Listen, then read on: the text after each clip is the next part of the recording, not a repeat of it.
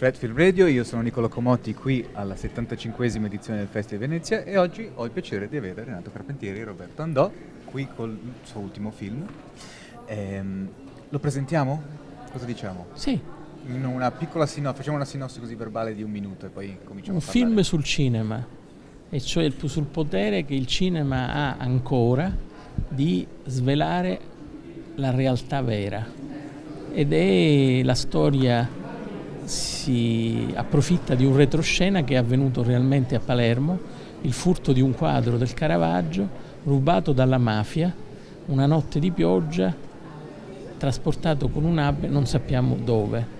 Se ne perdono le tracce, questa storia è rimasta nel mio cuore perché sono palermitano, ma anche nella memoria di tutti perché di questo ci hanno parlato tanti pentiti, tra i più importanti, ogni volta aggiornando la sceneggiatura.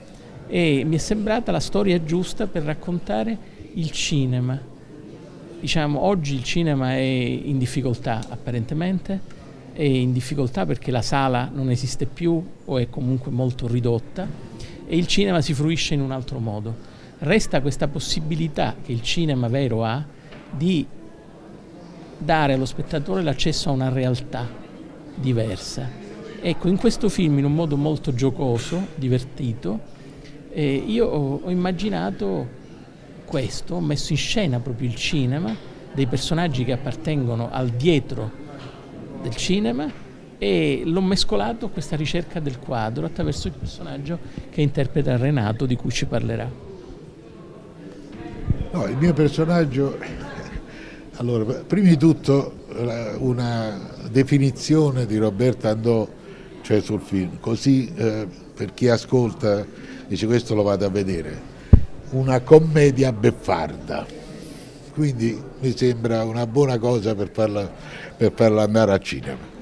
Allora, il mio personaggio è un pensionato, eh, ex servizi segreti, che dire, è stato offeso da, questa- da questo furto. Cioè, ha, dopo che è andato in pensione, ha continuato a indagare su questo furto. Ha dei dati a disposizione, però eh, eh, a un certo punto sente il bisogno di, eh, cioè con i dati a disposizione non ce la fa a capire la realtà, sente il bisogno di affidarsi a un raccontatore di storie, cioè anzi nel nostro caso una raccontatrice di storie, cioè una sceneggiatrice ombra. no?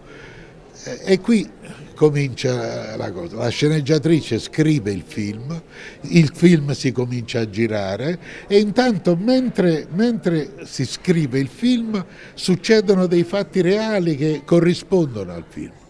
Eh, corris- corrispondono a questa fino ad arrivare a una, verità diversa da quella che, ci hanno trasmesso i pentiti. Eh, una verità in cui c'entra anche un- eh, il rapporto tra eh, la mafia e pezzi eh, de- deviati dello Stato.